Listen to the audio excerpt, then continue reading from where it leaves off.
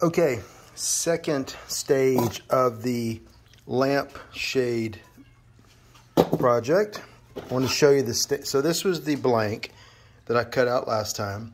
And you can see I drew a couple of lines along the curve. I simply took a, a six penny nail and a hammer and nailed those through. No big deal, right?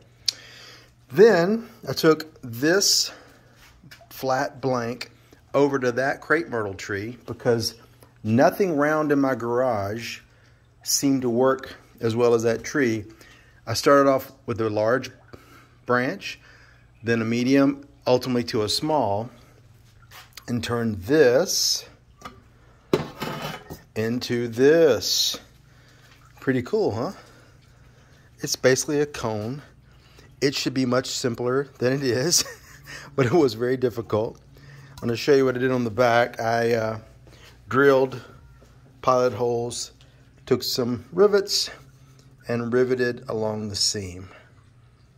So pretty straightforward. Now, what I had to do, once, you, once I got this basic shape, bending the top along that smaller branch, or if you're using something else, that's fine more so than on the bottom for obvious reasons because we've got to turn that into that and it has to, it doesn't just simply you know you don't just simply bend it in a circle and it gets there. You have to kind of work. In my case I work from the top down.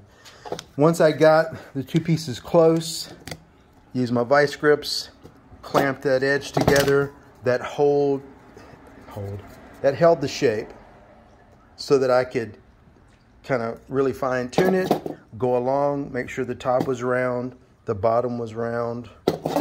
Then I drilled each of the holes, took my rivets, and uh, put it together. I'm going to attempt to video the next step of this. We'll see what happens.